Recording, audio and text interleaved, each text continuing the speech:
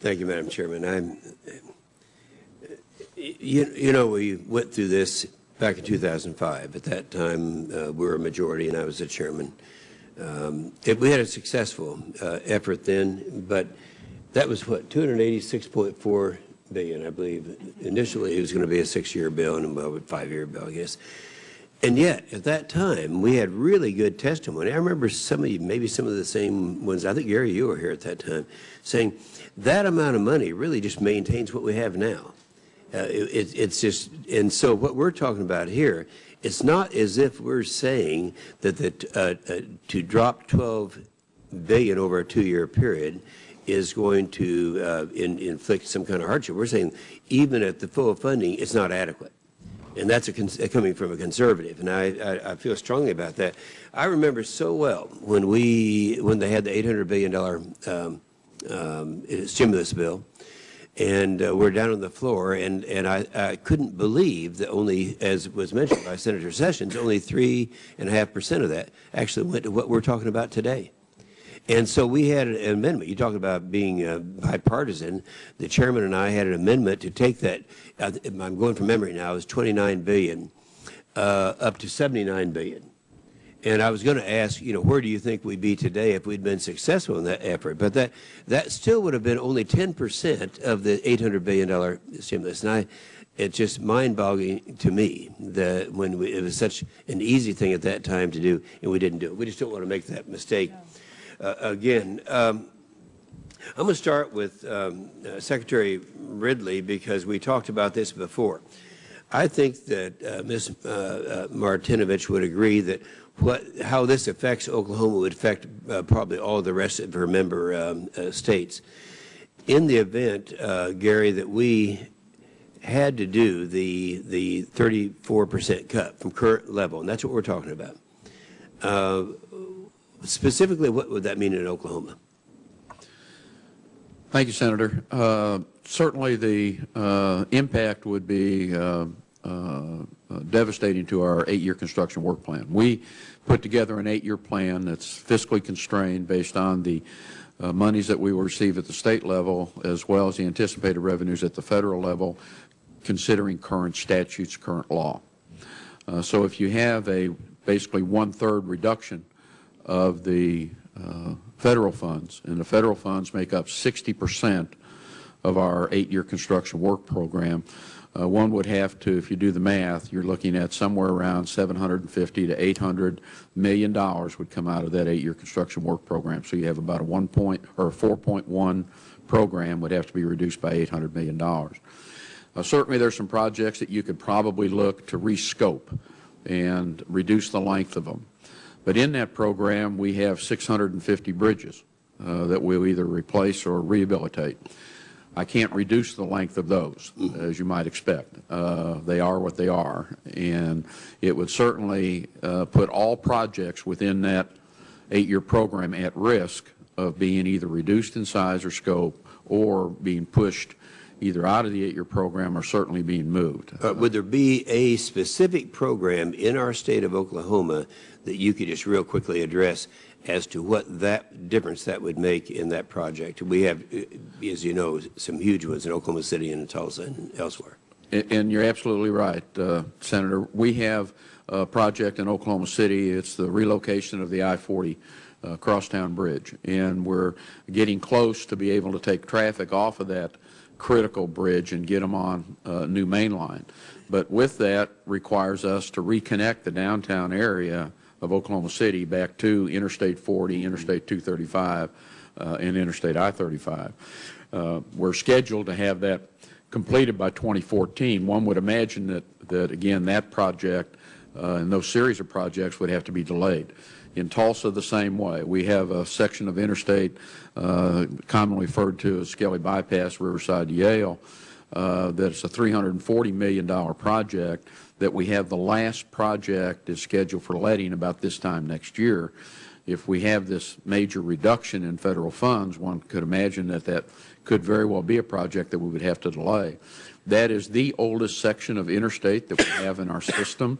In fact, it was in place before the interstate system uh, was established, so it was surplanted on top of an existing highway. High accident rate, uh, high severity rate, uh, and high fatality rate in that area, and some of the worst on our interstate system. Delaying that completion of that project would not only cause uh, additional costs, but certainly you could expect to have uh, uh, additional accidents, both personal injury and maybe even fatalities, any delays that we would have, you could certainly uh, uh, expect that. All right, and, and then I'd like to ask, oh, maybe Mr. James, or it could be just about anyone, the alternative that we, if we were to deal with just more extensions as opposed to a bridge, and even if the money were the same amount, in addition to just the reforms that we have in there, what other problems, uh, Ms. Martinovich, uh, do you- do you see that would be there? In other words, we spend the same amount of money, but we do it just with extensions. Thank you, Senator. The, the biggest problem is not being able to plan.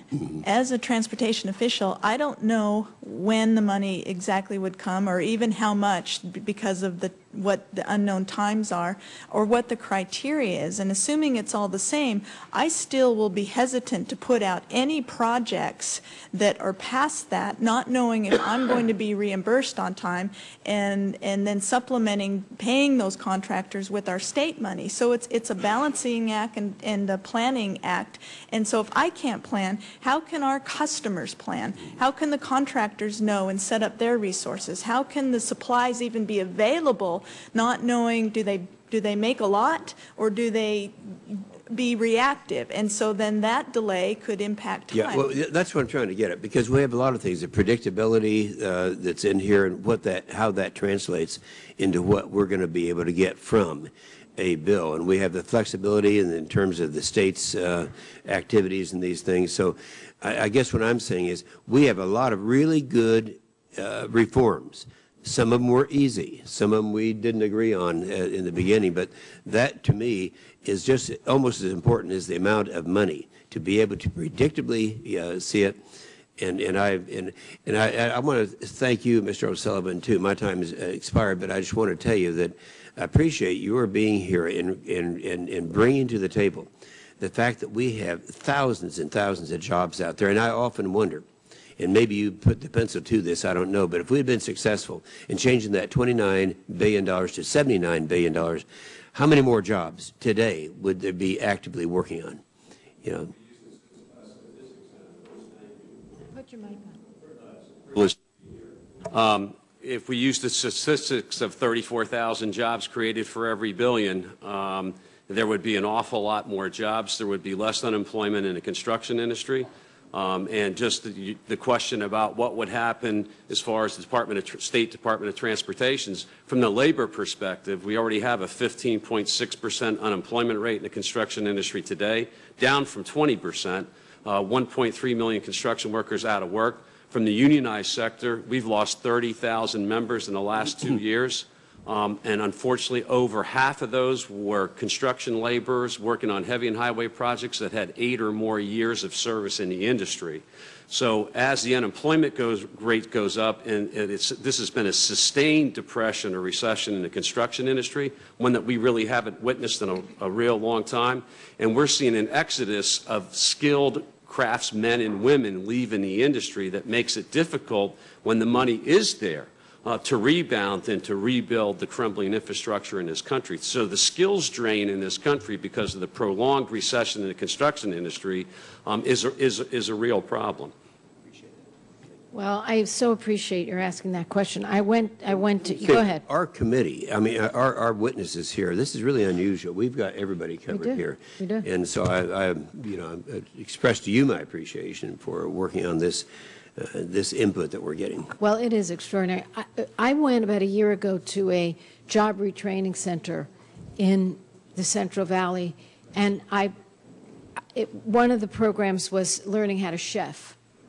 And I went around the room, and at least in that room of about 25, 30 wor- working people were at least 10 who said they were construction people. And um, imagine, and they just plain had given up. So your point is poignant and it's accurate. and I thank you for it. Uh, Senator Whitehouse.